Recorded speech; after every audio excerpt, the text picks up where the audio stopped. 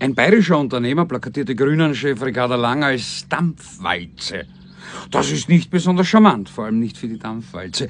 Die weisungsgebundene bayerische Staatsanwaltschaft München von Markus Söder sah darin den Tatbestand der Beleidigung politischer Persönlichkeiten in vier Fällen als erwiesen und ordnete Hausdurchsuchungen an. Hausdurchsuchungen! Der Unternehmer wurde wie ein Terrorist behandelt. Wegen eines Plakates eine Hausdurchsuchung, die schärfste Waffe der Justiz. Zudem solle der Unternehmer 6000 Euro Strafe zahlen. Das alles ist in Bayern eines Herrn Söder unter seiner Ägide seiner Staatsanwaltschaft möglich. Der Strafantrag kam persönlich von Annalena Baerbock, die sich auch auf dem Dampfwalzenplakat abgebildet beleidigt fühlte.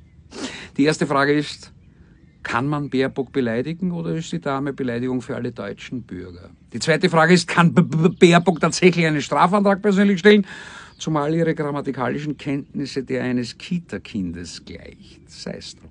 Der Terrorist wird nicht gefilzt, der Korruptionist wird in Bayern pardoniert und hofiert. Der, der gegen Grüne austeilt, die Berufsqualifikation der grünen Politiker öffentlich mit seinem Hund vergleicht, die Umweltministerin der Bundesrepublik Margot Honecker nennt, politische Parteien als Nazis bezeichnet, ist Ministerpräsident in Bayern. Seine Justiz verfolgt hingegen nicht ihn, sondern einfache Bürger. Weil er sich nicht traut, privates Geld für Zivilprozesse in die Hand zu nehmen, instrumentalisieren er und die politischen Eliten die Judikative des Landes für ihre parteipolitische Drecksarbeit. Wöchentlich werden zig Bürger durch die Staatskanzlei bei der Justiz angezeigt.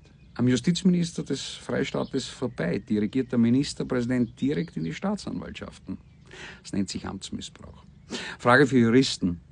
Wenn Orban das machen würde, was würde Söder dazu sagen? Wenn Putin das macht, was würde Baerbock dazu sagen? Faktum ist, in Deutschland wird von der Politik selbst die Meinungsfreiheit attackiert. Ja, Deutschlands Establishment versucht, die Grundrechte der Bürger zu beschneiden. Gottlob gab es in Miesbach einen Richter, der dies nicht zuließ. Er sprach den bayerischen Unternehmer frei. Ob er, der Richter im Freistaat, noch Karriere macht, wage ich zu bezweifeln. Aber Mut und Ehre kann man eben nicht kaufen. Entweder man hat sie oder eben nicht. Der Richter hatte sie.